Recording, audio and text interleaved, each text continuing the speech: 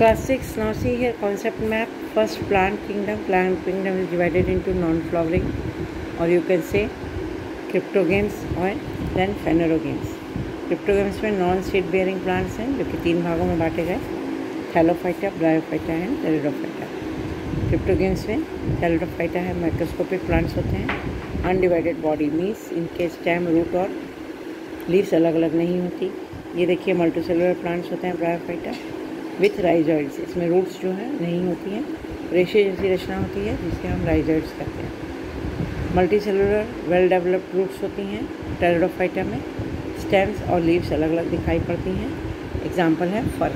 Now we will read here non phanerogams phanerogams further divided into coniferous and flowering plant coniferous means they are bearing seeds but seeds are not covered like pine cycas and juniper and here flowering plants flowering plants are again divided into angiosperm.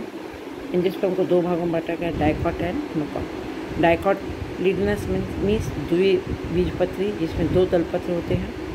Seeds with two cotyledons and here angiosperm monocot means seeds with one cotyledon एक ही दलपत्र होता है.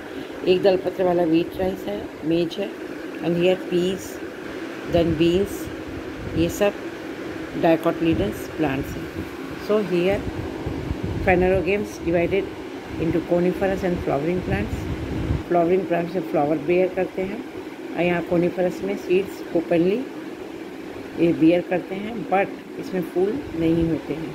And angiosperm having cotyledons and monocotyledons plants now we will read about other criteria of classification of plants criteria और कौन सा base है जिस पे हम प्लांट्स को बांट सकते हैं? Plants are also classified on the basis of other physical characteristics such है size, life span and habitat. Plants को हम उनके साइज़ के अनुसार, उनके लाइफ स्पन, उनके जीवन चक्र के अनुसार और उनके रहने की जगह, हैबिटेट के अनुसार उनको और भी चीज़ों में बांट सकते हैं, और भी भागों में बांट सकते हैं। जैसे देखिए depending on the size size के अनुसार प्लांट्स कैसे होते हैं? Depending on the size plants are classified into three groups tree herbs and shrubs ये आप पहले भी पढ़ चुके हैं। हब क्या होता है? हर्ब सबसे छोटे पौधे होते हैं। Herbs are small plants with soft and slender green stem. इसमें ग्रीन स्टेम होता है, सॉफ्ट होता है एकदम stem. Their stem never become woody. ये लकड़ी के समान कड़ा नहीं हो पाता इनका स्टेम हर्ब का बहुत नरम होता है and grow to only a short height और बहुत छोटा ही होता है।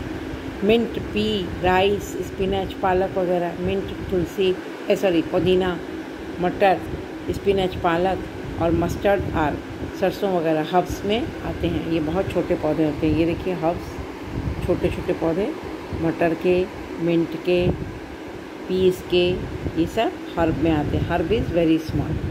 So herbs are small plants, soft इसके स्टेम होते हैं।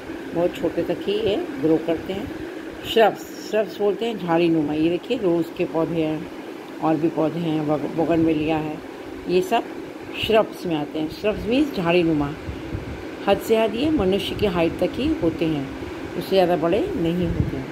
श्रब्स देखिए shrubs are medium size plants many branches of almost the same size arises from the base of the stem immediately above the soil कह रहा है shrubs are medium ये मध्यम size के पौधे होते हैं। मैनी ब्रांचेस ब्रांचेस बहुत होती हैं। इसलिए झाड़ी नुमा रचना बना लेते हैं। Same size arises from the base base से ही इसकी ब्रांचेस निकल जाती हैं और फैल जाती हैं। Stems immediately above the soil soils के ठीक सॉइल से ऊपर, जैसे ही इसकी स्टेम होती है, वहीं से ब्रांचेस निकलना शुरू हो जाती हैं। और यह काफ़ी गोल गोल टाइप का फैला हुआ सा हो जाता है। So they look like bushes ये झाड़ी नुमा दिखाई पड़ता है। ये देखिए यहाँ पे। नीचे से इसकी ब्रांचेज आ जाती हैं। जैसे ही मतलब स्टेम शुरू हुआ स्टेम के वहाँ नीचे से ही बहुत सी ब्रांचेज निकल के फैल फैल के एक पूरा झुंड बना लेती हैं। So they look like bushes इसलिए झाड़ी जैसी दिखाई पड़ती हैं। Some are mostly thin and hard इनकी स्टेम्स जो हैं वह थिन पतले होते हैं और कड़े होते हैं। आप गुलाब वगैरह के स्टेम को देखिए, कड़ा होता है। Rose jasmine China rose and bougainvillea और श्रब्स ये सभी श्रब्स हैं। रोज़ वगैरह श्रब के अंतर्गत आते हैं। ट्रीज़ जो होते हैं, वो बहुत लॉन्ग होते हैं। और ये देखिए, पेड़ स्टेम अलग है ब्राउन ऊपर ब्रांचेस हैं और लीव्स हैं। तो स्टेम्स ट्रीज क्या होता है? Trees are tall plants with a thick hard and woody stem इनका थिक मोटा और हार्ड कठोर और लकड़ी नुमा स्टेम मेन स्टेम होता है, जिसको हम ट्रंक कहते हैं। दे स्टैंड इरेक्ट इसका स्टेम एकदम इरेक्ट मतलब सीधा खड़ा होता है। एंड हैव मैनी ब्रांचेज इसमें बहुत सी ब्रांचेज होती हैं इन द अपर पार्ट ऊपर की तरफ़ mango banyan eucalyptus and neem are trees ये सभी ट्रीज में आते हैं. According to height plants are divided into three parts herb shrub and tree. Herbs are very small. Shrubs are medium sized plants and trees are tall plants. Thank you.